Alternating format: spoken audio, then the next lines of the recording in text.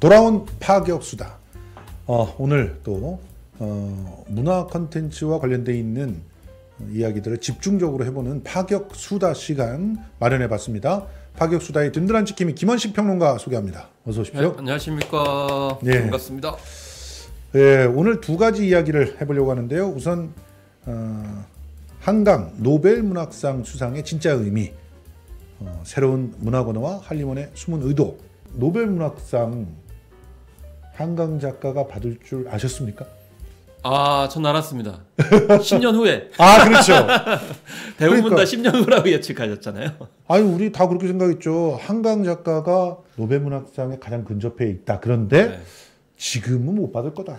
일단 나이는 60을 넘겨야 된다. 다들 그렇게 생각했었잖아요. 아, 그거는 이제 한강 작가의 잘못이 아니고 음. 노벨 위원회 측이 워낙 그 연령대가 좀 있는 작가들만 상을 음.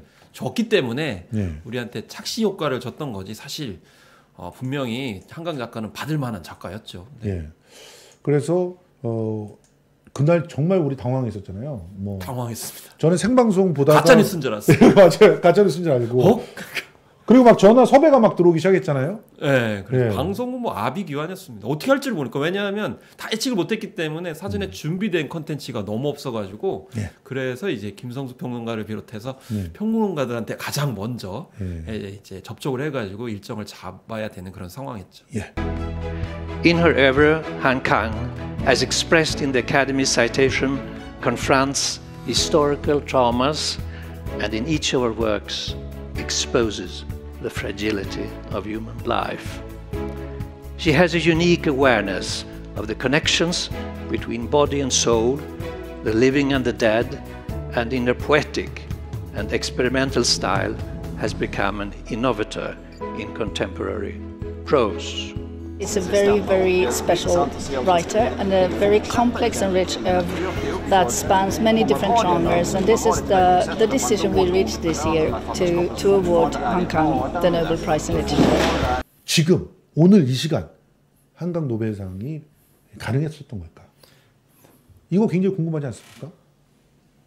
뭐 궁금한데요. 뭐 50년 후에 그게 밝혀진다고 하니까 왜 받게 됐는지에 대해서 그래서 벌써부터 시비 거는 인간들 많잖아. 보수 쪽에서. 보수가 아니라 극우 일본 간첩들이. 예.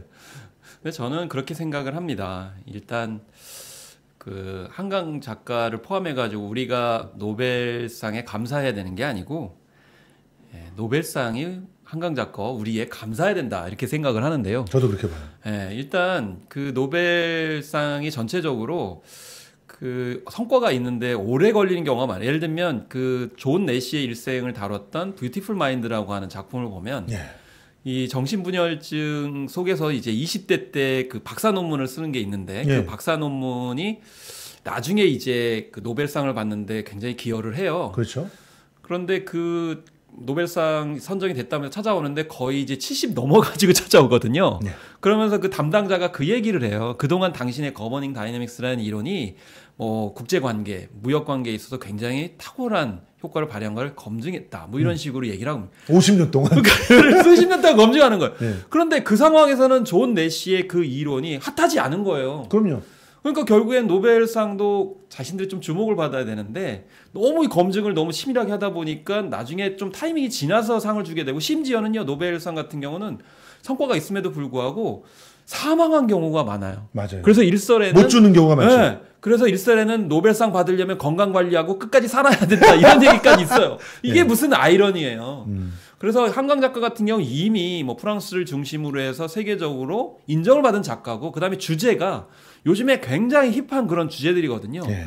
그러니까 이 노벨상 위원회도 아 결국엔 이때 줘야 된다라고 저는 과반수가 아마 이, 자- 이, 선정을 하지 않았을까. 그렇기 때문에 노벨상이 지금 어떤 상을 주면 화제성이 안 되니 좀 한강 작가를 통해 가지고 존재감을 부각하려고 했던 거 아닌가 이런 생각이 듭니다. 생각해 보십시오. 자, 한강이란 작가가 지금 2016년서부터 본격적으로 세계에 알려지기 시작하지 않았습니까? 그러니까 지금 10년이 채 안 돼요. 그러니까 노벨상 그 수상 어, 그 작가들이 검증을 받아야 되는 시간인 어, 최소한의 조건이 10년을 겨우 채울까 말까 한그 정도밖에 안 되는 거예요.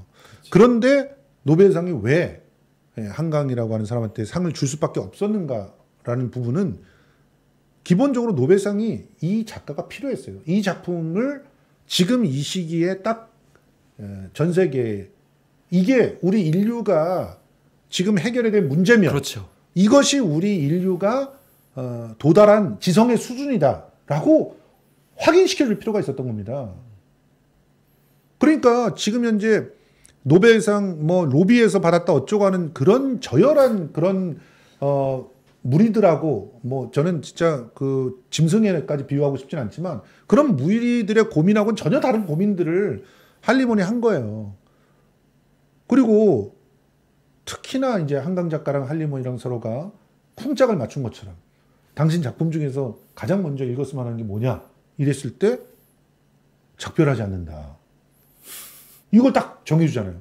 작별하지 않는다가 뭡니까? 학살에 대한 얘기예요. 70년 전에 있었던 학살을 지금까지도 세포, 세포. 1948년 4.3 그러니까. 네. 4.3 때의 얘기를 이제 하고 있는데 그게 지금까지도 다 세포에 기억이 돼 있고 우리들의 무의식에 기억이 돼 있다는 얘기를 갖다 거기서 하고 있는 거거든요. 그러면 눈앞에서 벌어지고 있는 어, 이스라엘의 학살은 기억해야 되겠습니까? 말아야 되겠습니까? 그 그래서 그 수상을 하고 나서 이제 기자간담회를 하려고 했는데 기자간담회를 이제 취소하겠다라고 이제 밝히면서 얘기했던 것이 지금 굉장히 많은 사람들이 목숨을 잃고 있는데 이 와중에 무슨 잔치처럼 음. 기자회견 하느냐라고 했기 때문에 사실 노벨 위원회에서는 그 노벨 그러니까 알프레드 노벨의 그 유지에 따라 가지고 상을 이제 선정하거든요. 왜냐하면 가장 이상적으로 작 품 활동을 하면서 이 작품을 생산한 작가에게 준다 이렇게 했어요. 맞아요. 근데 여기서 이상적이라는 건 몇 가지 의미가 있습니다. 첫 번째는 이상적이라는 거는 이제 최고의 작품을 예, 썼, 썼다. 뭐 음. 이런 것도 있겠고 두 번째는 그 이상적인 어떤 지향점을 잘 그렇죠. 보여줬다. 인류가 가야 될 네, 길을 그렇죠. 보여줬다. 보편적인 어떤 인류의 관점이고 예. 인권과 평화 이런 점이고요. 세 번째는 평소에 언행일치도 봅니다. 사실은 당연하죠. 한 작품만 보는 게 아니기 때문에 작가에게 주기 때문에 작품 하나만 잘 썼는데 나중에 뭐 보통의 생활이 언행이 맞지 않는다. 그러면 그건 작품 수상의 대상이 되지 음. 네. 않거든요. 그래서 한강 작가는 사실 그 삿된 행사라고 하면 아예 참여하지도 않기로 유명해요. 그래서 이번에 그 방송국에서 좀 애먹은 게 뭐냐면 쓸 수 있는 컨텐츠가 별로 없어. 없어. 뭐 방송에 뭐 나온 것도 없고 대회 네. 행사를 별로 하지 않았기 때문에 예. 그런 일련의 언행 일치 또 어, 활동들을 다 보고서 판단하는 거지 무슨 그거를 한 작품 내지는 뭐 개인적으로 접촉해가지고 했다는 거는 이거는 전 세계에 그동안 노벨상을 받은 무수한 지성과 수상자들을 모욕하는 겁니다. 맞습니다. 지금 현재 우리 사회가 가장 지금 불안해하고 공포스러워하는 그 문제가 뭐냐 이거예요. 음. 그 문제는 요약하면 두 가지 아닙니까? 하나는 기후 위기. 이 기후 위기는 지금 당장 우리가 더 이상 탄소를 쓰는 것을 스스로 자제하지 않으면 다 죽는 거예요. 그걸 느끼고 있잖아요. 그 다음 또 하나는 바로 전쟁의 공포예요. 지금 여러분들 다들 아시지만 오늘 굉장히 화제가 됐던 게 오늘 지금 녹화를 하고 있는 오늘입니다. 오늘 굉장히 화제가 됐던 게 모 사이트에 3차 세계대전 시나리오가 쫙 나왔다는 거예요. 거기 중간에 한국전도 있어요. 한국전. 예. 그러니까 전쟁이 지금 확산돼 가고 있다는 거예요. 인종에 대한 다른 인종에 대한 차별 또 그 분노 그리고 누군가 인류에 대해서 그걸 보복으로 갚아야 된다는 식의 황당한 그 선동 이런 것들이 도체 있는 거고 그 중심에 또 미국이 있어요. 그럼 미국 작가한테 줘야 되겠습니까? 못 준다니까 노벨상의 입장에서는 그리고 중국 작가한테 줄 수 있겠어요? 아 중국도 거기에 한 원흉인데 물론 중국의 체제에 반대하는 그런 어, 망명한 작가나 이런 사람들을 많이 노벨에서 어, 대접을 해줬어요. 그런데 결국은 변화가 있었습니까? 그런 측면에서 채식주의자 등등을 통해 가지고 구조적 폭력에 대해서 강력한 고발을 하면서 그리고 실제로 채식주의자의 그 문제 의식들을 보면 어, 기후 위기에 대한 경고 같은 것도 들어가 있죠. 아? 왜 채식을 선택했겠습니까? 네. 채식이라고 하는 게 직접적으로 또 의미가 있지만 상징적으로도 의미가 있는데 그리고 양가성을 다 갖고 있는 거죠. 그러면서 소년이 온다 그리고 작별하지 않는다까지 그렇습니다. 그래서 이 한강 작가가 이제 인간의 본질에 대해서 탐구를 하는 와중에 이제 폭력이라는 것에 대해서 이제 주목을 하게 되는데 네.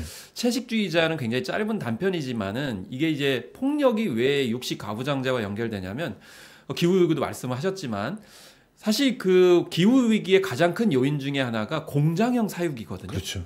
그 공장형 사육이라는 거는 결국엔 육식을 하기 위해서 대규모로 생산을 하는 건데 그럼 공장형 사육 현장에서는 어떻게 하느냐? 강제로 억압을 해가지고 폭력적으로 사육을 하는 거란 말이죠. 그리고 그 대량 이렇게 사육을 해가지고 결국엔 폭력적인 방법으로 목숨을 뺏어가지고 네. 육식을 이제 제공하는 거잖아요. 네. 그 과정에서 엄청나게 또 탄소가 발생을 합니다. 그렇죠.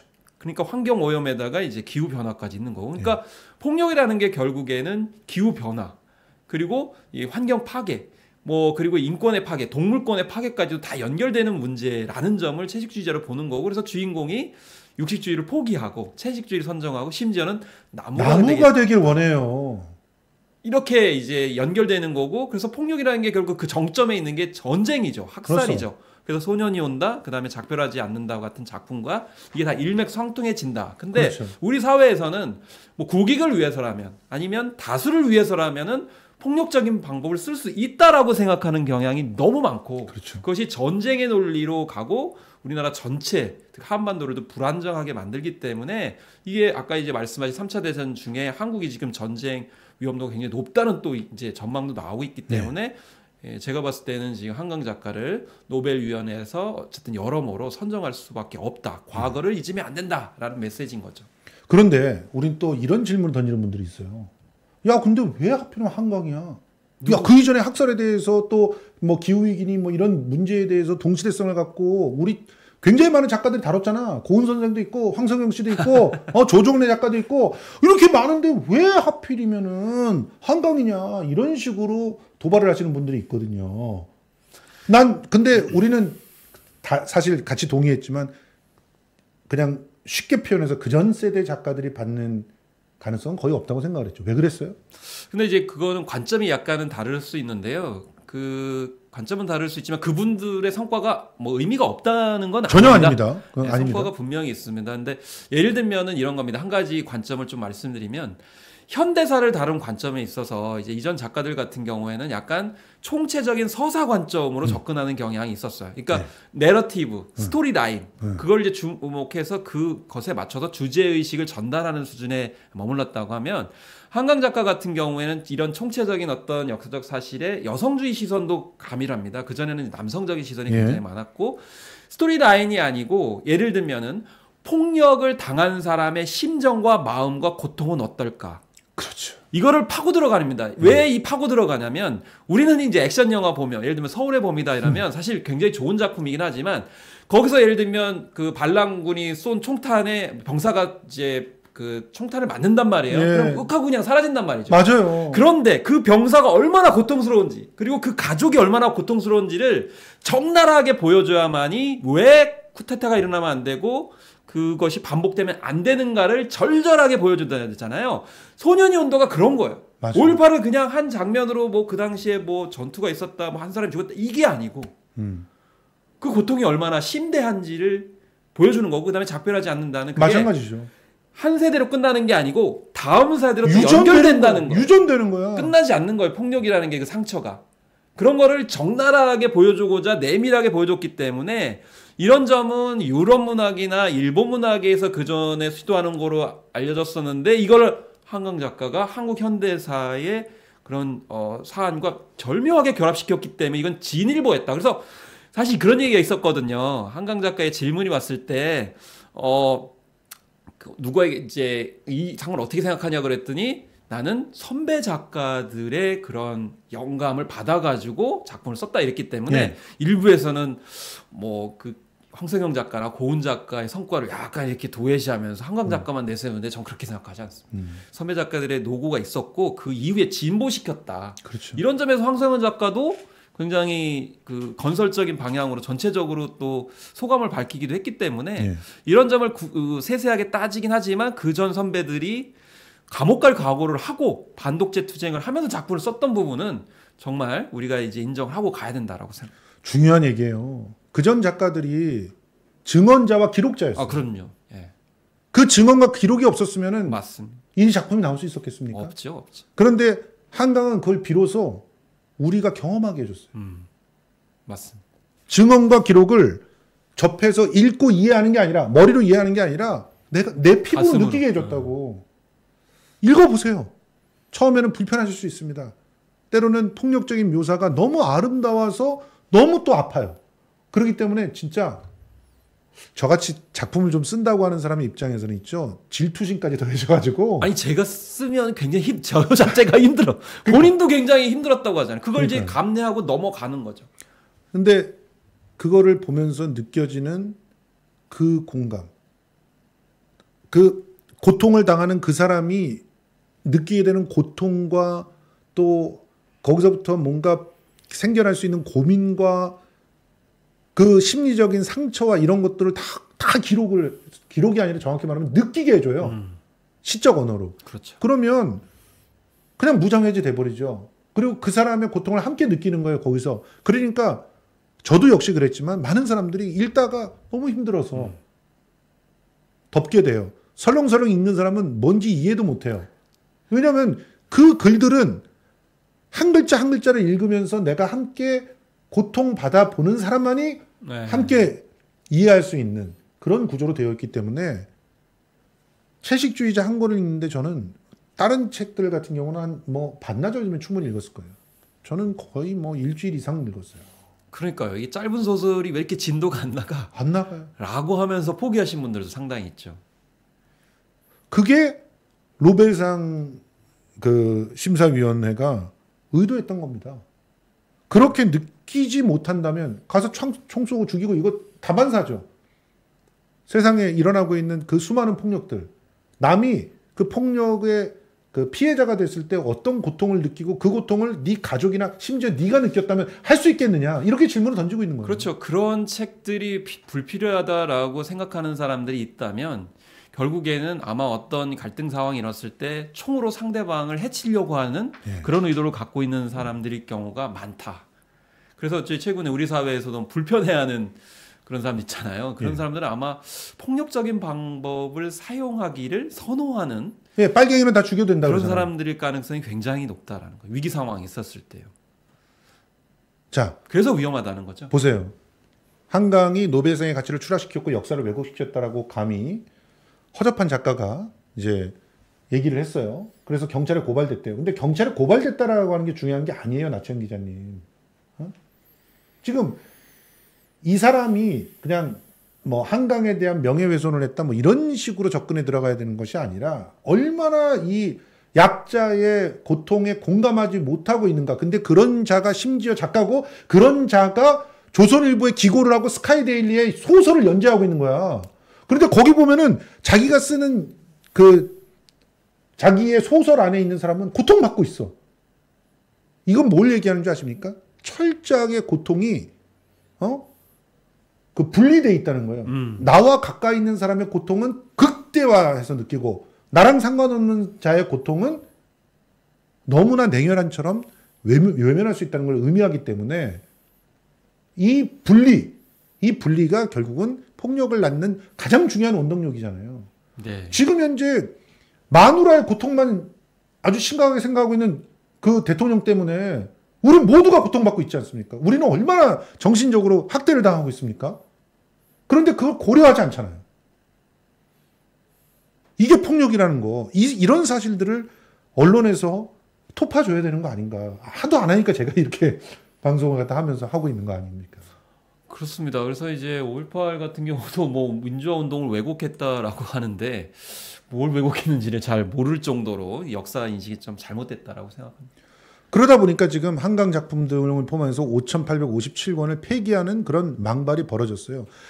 이 작품을 폐기해 달라고 했던 사람이 학부모 단체입니다, 세상에. 학부모 단체인데 작품 중에서 동성애를 그리고 있거나, 어? 왜곡된 성생활을 그리고 있거나, 뭐 성적인 욕망이나 이런 것들을 구체적으로 서술하고 있거나, 이런 작품들은 다 보면 안 된다는 거예요. 어떻게 생각하십니까? 아, 우리 사회에서는 약간 뭐 아니면 도다 이런 생각들을 많이 하시는 것 같아요. 그러니까 어떤 부분 장면이 있다고 하면 청소년들한테 아예 그거를 접하지 못하도록 해야 된다라고 이제 여기시는 것 같은데 중요한 거는 예를 들면은 뭐 그 미국 같은 경우는 영화 같은 경우에도 부모님과 함께 볼 영화 이런 식으로 등급을 또 나누거든요. 당연하죠. 그러니까 이런 책 같은 경우에도 그냥 함께 부모님이 봐야죠. 그러니까 우리 사회에서는 뭐 보지 못할 쪽을 딱 구획을 해가지고 부모들은 보면서 자녀들은 보지 말아야 된다 이렇게 얘기하면 그거는 부모 그 역할을 제대로 못하는 것이 뿐만 아니라 자녀 세대가 다 탐독을 할 수밖에 없어요. 왜냐면 부모들은 보는데 왜 자기만 못 보게 하냐 이렇게 하기 때문에 차라리 오픈해가지고 그 채식주의자를 놓고 토론을 하는 거예요. 근데 이 토론하지 못하는 이유가 뭐냐면 전 그렇게 생각합니다. 이런 부모일수록 제가 봤을 땐 폭력을 사용할 가능성이 전 높다고 봐요. 그러니까 수평적 관계로 접근하는 게 아니고 예. 하라면 해. 그렇죠.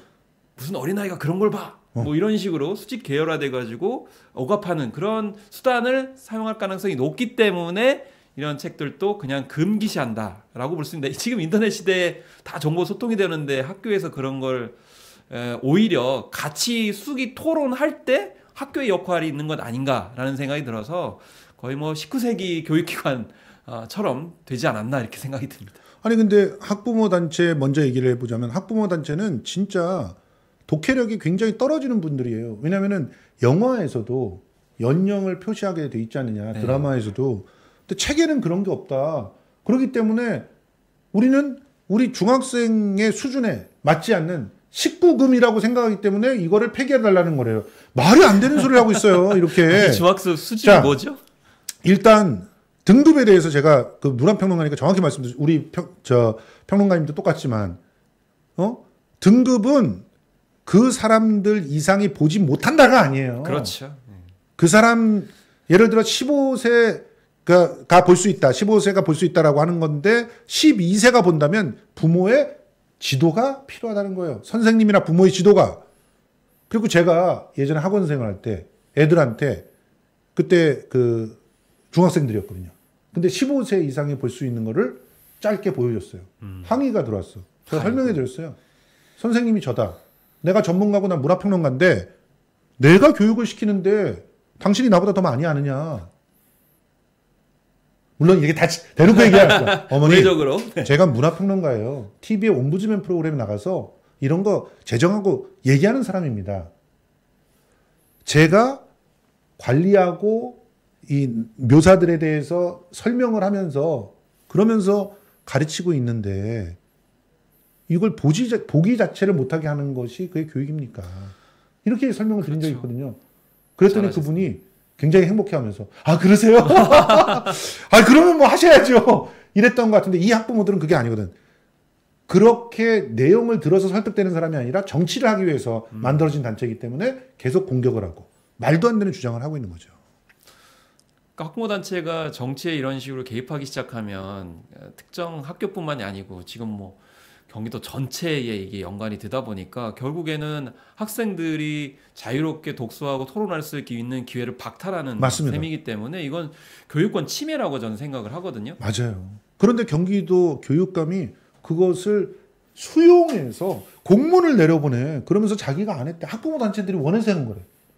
이런 그러려면은 교육감 아니 때려쳐. 학부모 단체가 과연 대표성을 얼마나 가지고 있는지도 좀 의문스러운데. 때려치라고 그러면 교육감을 그렇게 주대도 없는 교육감이 어떻게 정책을 갖다 마련합니까? 교육 정책을. 어? 정말 문제시 되는 책이라고 하면 반드시 부모님하고 같이 읽어야 됩니다. 왜냐하면 그 책들은 이미 화제가 되기 때문에 개인적으로 접근하면 오히려 오해할 수가 있어요. 오독할 수가 있고. 제일 그런 책이 성경이죠. 예. 그렇기 때문에 성경에 보면 반드시 남색하면 보면 안 되거든요. 그 반, 남색하면 반드시 죽이되 돌로 꼭 쳐 죽여라. 남녀를 같이 쳐 죽여라. 이렇게 돼 있는데 그거 애들끼리 보게 해- 하시겠습니까? 그건 교회 가서 같이 이렇게 하잖아요. 성경 모임도 있잖아요. 그렇지 않아요. 오히려 그렇게. 장려해야죠. 그렇게 공부를 하는 겁니다. 네. 그래서 제대로 된 의미가 무엇인지를 맥락을 이해하고. 맥락을 이해하는 거. 자, 짧게 광고 보여드리고 어, 계속 해볼게요. 쓸 스토어에서 특별한 제품 준비했습니다. 랭킷 블랭킷 정말 특별한 담요입니다. 이게 한두 개씩은 다 갖고 있잖아요. 차에도 하나씩 집어넣고 있고 캠핑 좋아하시는 분들은 담요가 필수죠. 그렇죠. 그런데 요거 조금 지나면 아 보풀 생기네. 아, 아, 보풀 생기네. 너무 짜증나. 아이들한테 안 좋아요. 맞아요. 어떻게 생긴 그 원단들이 이렇게 정전기가 많이 생기는 거야. 어 찌릿찌릿. 예. 저는 특히 정전기에 굉장히 약해가지고 빌랭킷 담요는 국내산 원단만 사용하고 정전기 발생을 최소화했습니다. 세탁 후에도 감촉이 유지되고 보풀이 거의 없고요. 컬러와 사이즈도 다양해서 인테리어까지 예, 좋습니다. small 사이즈는 유모차나 아기들 카시트에 또 무릎 담요로 딱 적당하고요. medium 사이즈는 허리부터 발까지 덮이기 때문에 웬만한 캠핑 때 어, 활용하실 수가 있고 large 사이즈는 queen 사이즈 이불이에요. 너무 좋습니다. 겨울철 캠핑 집에서 보온까지 전초로 생활용품 빌랭킷 담요 green blue 오렌지 yellow 크림 black 여섯 가지 컬러에다가 small은 14,800원 medium은 21,500원 large는 34,500원 쓸 스토어로 들어오셔서 회원 가입해서 구매하시면 1,000원 깎아서 사실 수 있으니까 더 좋습니다. SSR 스토어 쓸 스토어 많이 사랑해 주시기 바랍니다. 선거방송심의위원이라고 하는 자가 선거 방송 심의위원은 우리 같은 사람이 돼야 되는 거 아닙니까, 평론가님? 아니 뭐 객관적인 분들이 해야지 이런 분들이 하는 건 좀 적절하지. 진짜 적절하지 않은 것 같아요. 탄핵 마이크를 한강에 잡을 것 같다. 이런 선동을 합니다. 선전 선동인 거죠. 예. 전 전혀 생각하지 못한 SNL 코리아가 이렇게 약간 그 눈을 반쯤 개슴칠했던 장면으로 흉내 내가지고 문제가 되는데 이거는 정말 범죄에 해당되는 것 같아요. 없는 맞습니다. 사실을 네. 있을 것처럼 이렇게 얘기하지 않습니까? 이게 모든 것들이 전부 다 반지성적인 행위들인 거죠. 저는 정신적 반달리즘이라고 그렇죠. 생각해요. 그러니까 문화유산을 반달족이에요, 반달족. 파괴하는 거잖아요. 예. 지금 이런 논쟁이 한강의 작품 때문에 생긴 게 아니라는 것을 저희들이 말씀드리는 거예요. 한강의 작품을 꼼꼼하게 뜯어서 읽어보세요. 필요하시면 요즘에 근데 참 좋은 하나의 흐름이 소규모 읽기 모임들이 한강 엄청 책 때문에. 너무 활성화됐어요. 나도 가보고 싶어. 막 SNS에 보면은 우리 올리시죠. 어느 동네에서 한 다섯 명 내외로 해서 우리끼리 만나서 한강의 채식주의자를 읽어보려고 합니다. 손 어우 너무 좋아요. 이런 게 너무 너무 많이 알려지고 있어요. 네. 아 우리 좀 꾸준히 또 특히 출판계에 그 어, 여러 가지 심사도 하고 그러셨잖아요. 그런 입장에서 볼 때 이런 우- 움직임들이 일어난다는 것 자체가 정말 너무 기쁜 거 아닙니까? 그러니까 이게 우리나라 지금 문제가 뭐냐면 번역 지원료 지금 거의 삭감했다시피 했고 예. 그다음에 출판에 관련돼서도 지금 삭감을 다 했는 그런 상황이잖아요. 이런 상황 속에서 갑자기 뭐 관련 부처 같은 경우는 자기들이 모든 걸 다 했다는 식으로 하면서 홍보를 하더라고. 알고 봤더니 번역원 같은 경우 예전에 한강 작가를 블랙리스트로 올렸던 그래요. 그런 당사자였는데 갑자기 자기들 때문에 한강 작가 그랬다는 식으로 얘기하다가 이제 철퇴를 맞았던 한강 작가를 블랙리스트에 올리라고 지시했던 문화체육부 장관이 지금 체육부 장관이고 그때 실무를 담당했던 놈이 차관이에요. 참 부끄러운 일이죠. 우리의 그 문화와 예술을 말살시켰던 자들이 지금 또 그 짓을 하고 있습니다. 이런 식으로. 아주 정치적인 사유로. 제대로 이해도 못하고 독해할 능력도 없어요. 그런 자들이 이러고 있는 거예요. 그래서 시민들이 나서는 거예요. 제대로 알자, 우리. 그러니까요. 제대로 알자. 이 소설 같이 한번 읽어보자. 나 혼자 읽기는 좀 어려운데, 혹은 어떤 사람은 나는 혼자 읽었는데 너무 너무 아름다워서 나누고 싶어 이러면서 늘 소비자들이 옳습니다. 저는 그런 생각을 합니다. 아, 시민들이 옳죠. 깨어 있는 시민. 네. 지금 짧은 시간에 지금 거의 200만 권에 가까운 그 한강 작가의 책이 팔려나가고 있습니다. 지적 혁명이 일어나는 것 같아요, 진짜. 한강 작가의 책을 제대로 느끼면서 읽, 읽는 사람들은 일단 변화가 될 겁니다. 저는 그 제대로 읽었다면 다른 사람에 대한 폭력이 무엇인지를 심사숙고하게 돼요. 저도 채식주의자를 보면서 굉장히 불편했다가 나중에 깨달은 것은 내가 음식을 선택할 때조차 그 사람들에게 폭력을 가할 수가 있구나 하는 걸 깨달았어요. 예를 들면은 그 채식주의자의 이제 그런 장면이 있잖아요. 그러니까 그 채식주의를 선언하면서 주인공이 만두를 안 먹겠다 이렇게 얘기를 합니다. 그러니까 이제 아버지가 딸이 걱정되니까 너 왜 고기를 안 먹어? 그러면 만두 한번 먹어봐 이렇게 해서 입에 입에 딱 집어넣어줘요. 지어줬는데 어떤 분이 그 장면을 읽고 만두를 너무 좋아하시는 분인데 몇 개월 동안 만두를 못 먹었다는 거예요. 그게 바로 제대로 읽는 거예요. 그러니까 아이가 염려돼가지고 너 왜 안 먹니라고 해서 억지로 이렇게 만두를 넣어주는데 이게 폭력이라는 거죠. 그러니까 우리는 그걸 폭력이라 생각하지 않지만 누군가한테는 그게 폭력이 될 수 있는 건데 이런 비슷한 일들이 너무나 많은데 우리는 너무 무감각하다라는 예. 거고 그렇기 때문에 거기서 상처받고 고통받는 사람들이 있을 수 있다는 걸 너무 우리가 간과화했다. 라는데 이런 작품 세계를 이해 못한다라고 그러면 정말 전쟁을 일으키고도 남을 사람들이고 학살도 21세기에도 주저없이 할 정도의 위험한 그 그렇죠. 생각들을 가지고 있는 건데 예. 이거를 정말 무감각하게 얘기한다는 게 너무 어, 정말 공포감을 느낄 정도예요, 사실. 그러니까요. 한강의 작품이 노벨상을 받을 만한 가치가 있다는 사실에 대해서는 읽어본 사람들은 절감을 하게 된다는 거예요. 그리고 그거를 저희들이 해설을 앞부분에 해드렸잖아요.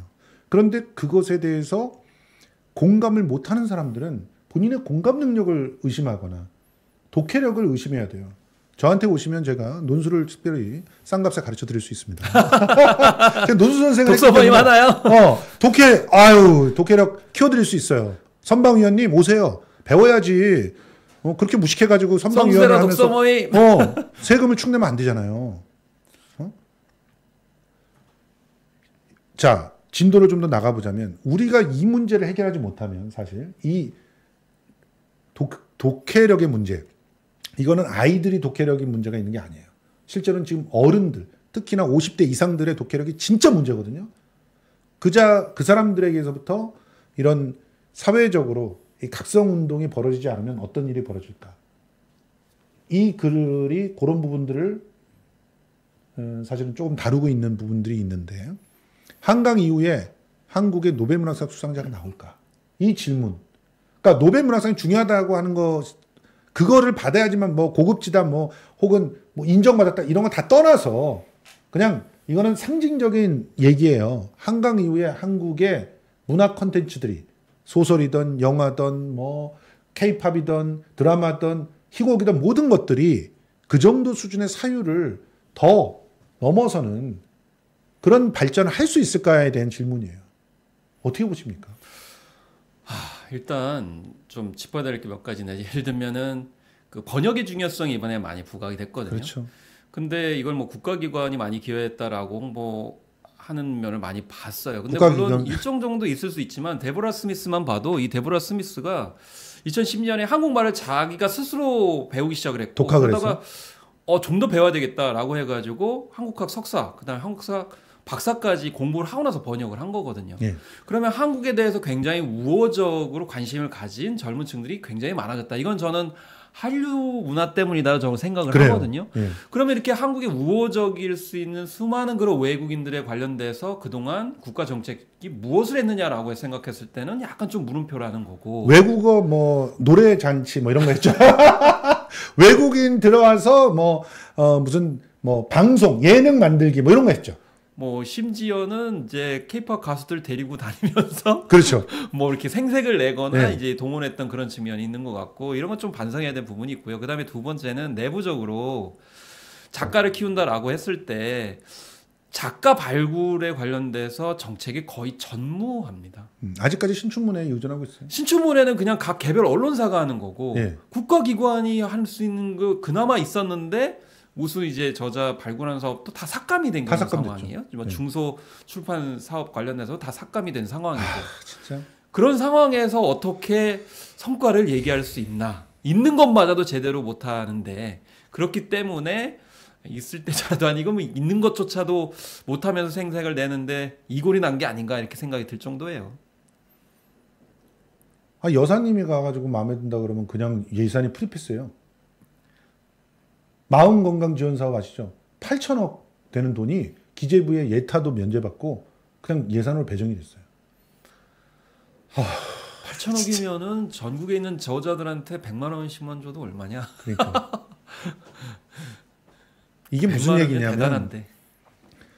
지금 이런 그 어, 문화 콘텐츠에 있어서의 지금 현재의 수준이 그대로 어, 조금씩이나마 발전하면서 유지가 되려면 지속적으로 새로운 어, 자유스러운 창작을 과감하게 시도하는 사람들이 늘 먹고 살면서 존재해 있어야 된다는 거예요.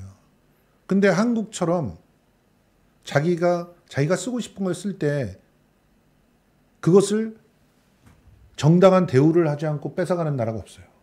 심지어 저나 우리 김원식 평론가처럼 일정 수준에 올라와, 올라온 직업적인 어, 연구자들도 연구의 결과물을 아무 돈도 안 내고 다 탈취해 가잖아요. 그런데 누가 이걸 계속 하고 싶겠어요? 뭐 맨날 문송합니다는 유행시키고 있는데. 그럼 결국 이거는 시장 안에서 뭔가 될 수 있을까?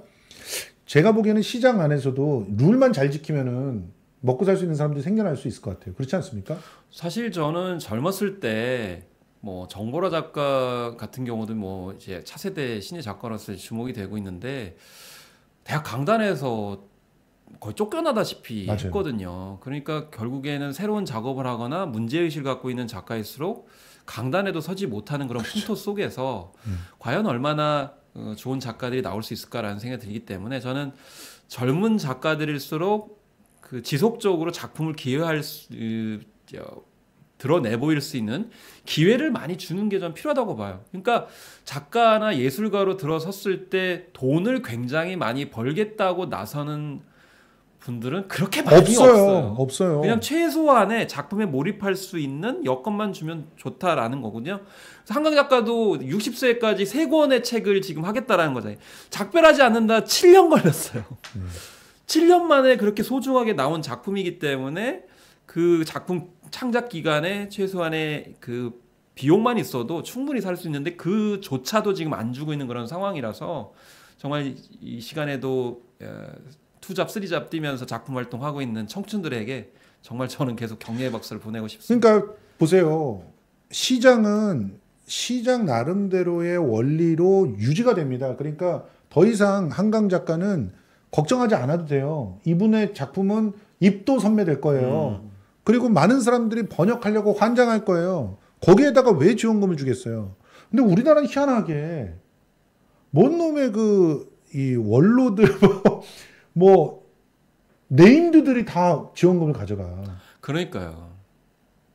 그러니까 지금 유인촌 장관 들어와서 더 심해졌어. 그게. 쏠림 현상이 굉장히 심하고 아니 저는 이미 뭐 이름을 얻은 분한테는 지원금이 없다고 봐요. 근데 그냥 시장이 반영을 한다니까. 숟가락 얹긴 거죠. 명성이 있으면 거기에 지원금이 몰리는 그런 현상들이 벌어지거든요.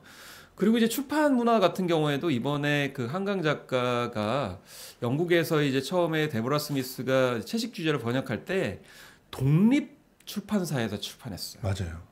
그렇기 때문에 영국에 알려지게 되면서 이게 맨부커상도 받고 음. 영국에 넘어가면서 또 알려지면서 노벨상까지 간 거거든요. 네. 그러니까 그 인디 작가, 그러니까 유명하지 않은 분들한테 좀 주목을 해가지고 나중에 좀 생색을 냈으면 좋겠고 그걸 자랑스럽게 생각을 하죠. 팬덤하고 똑같아요. 그렇죠. 이미 유명한 사람한테 앞에 가지고 아뭐 내가 뭐 알아봤어 옛날에 아 그게 중요한 건 아니죠. 그래서 어 작가를 발굴하고 아티스트를 발굴하면서 키워가는 데서 재미를 느끼고 그거를 성과로 해야 되는데 우리는 너무 알려진 사람한테 숟가락 얹기 문화가 너무 많다. 이게 많이 해소가 돼야만이 우리 차세대 포스트 한강이 나온다 이렇게 생각하는. 나는 언론 기사 중에서 제일 한심했던 기사가 뭐 그 번역 그 대상으로 어떤 어떤 작가들이 선정이 됐는데 이 중에서 몇몇 작가들은 너무 젊어서 이름이 이제 알려지지도 않은 작가들인데 이 사람을 왜 번역해 주느냐? 음. 거기에 왜 세금을 쓰느냐? 세금을 그런 데 쓰는 거예요. 이미 잘 알려지는 사람들한테 왜 세금을 씁니까? 자기 이름으로도 다 번역을 하려고 하는 사람이 줄, 대- 줄 들고 줄 안 선다고 한다면 그 사람은 이미 작가로서의 효용 가치가 떨어진 거예요. 거꾸로 가는 거죠. 그러니까 실제로는 지금 밭을 일구는데 투자를 해야 되는 거예요. 맞습니다. 밭을 일구는데 투자를 걸음을 줘야죠. 걸음을 주고 거기서 어떤 풀이 자랄지를 결정하면 안 돼요. 우리가 판단해도 안 돼요. 어, 저 너무 기이하게 생겼는데 저 기형 아니야? 뽑아내면 안 된다니까. 아니 그 들어가는 비용 뭐 얼마나 돼요? 수천억 막 들이는 사업에 비하면 작가들에 대해서 지급하는 돈이 뭐 그렇게 억만금이 아니잖아요. 그렇습니다. 그래서 초가 강하다. 그렇죠. 잡초 같은 다양한 야생 어, 들풀 같은 그런 아니, 샌드박스라는 작가들. 것도 있는데 맞아요. 왜 문인들한테 샌드박스 하면 안 됩니까? 문인들 또 케이팝 아티스트들도 마찬가지예요. 대형 기획사들은 이미 그러면 아니 돈질하다가 지금 진짜 망가지고 망가지고 있는데 주식 가격 올리려고 하다 망가지고 있어요. 어?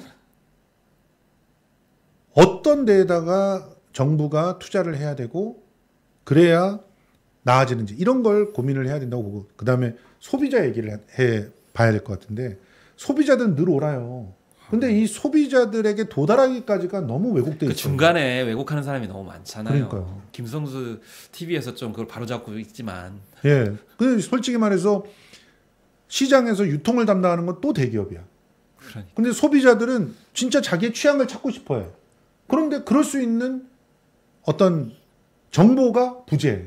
그럼 정보를 담당하는 게 마땅히 또 언론이라든가 이런 곳에 돼야 되고 평론가가 돼야 되는데 평론가들은 돈 주는 글만 쓰게 되니까 주례사 평론이나 쓰게 되고 그리고 돈 받아 먹고 그리고 언론들은 또 대주주의 입김에 자유롭지 못하니까 제대로 그런 데다가 투자를 안 해요.